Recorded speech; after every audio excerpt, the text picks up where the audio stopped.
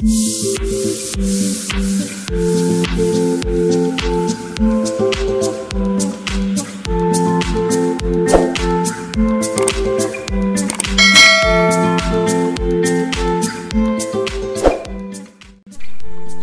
Assalamualaikum. Hari ni kita lagi di Fast Forward Dino Tech kan. Hari tu kita Dino motor 125Z. Pipe on juga. Asap-asap, main asap, asap tuti. Hari ni kita ada RSZ guys. RSZ. Okey, owner ni sahabat lama saya. Ah, Lee. Ah, ada orang panggil Lee Bayi. Ah, orang Ipoh mesti kenal lah. Kan? Ah, so sahabat lama. Nakal-nakal pun dulu pun sama-sama. So sekarang semua dah ada jalan dia sendiri. Okey. So Lee, nak tanya. Motor ni apa spek ni? Motor ni spek uh, standard body. Okey. Uh, dia set geli-geli je cuma pipe on je itu je. Iya ke geli-geli Ah.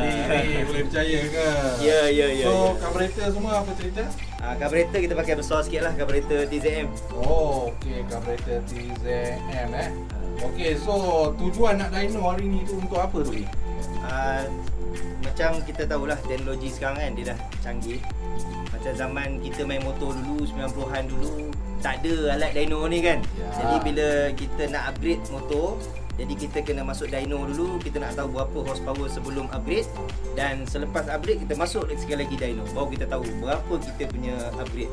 Okey okey, so kiranya motor ni nak kena upgrade lah lagi ni. Ya ya. Ya, yeah, okey.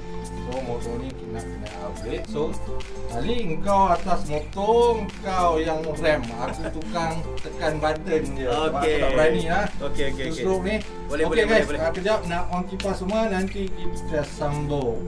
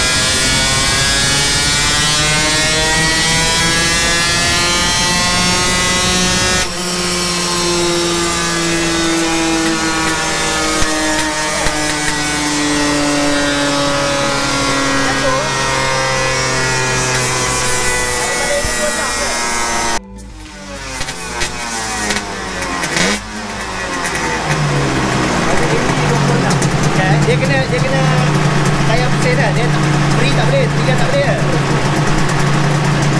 Tidak pakai try dia. Yang empat. Yang yang empat ah. Dia dia dia uh, motor ni dia cutting cutting cutting belum tu. Oh, dia kena daripada bawah. Ah. Jadi kena daripada, daripada gear empat kan. Saya hantarkan. Okey.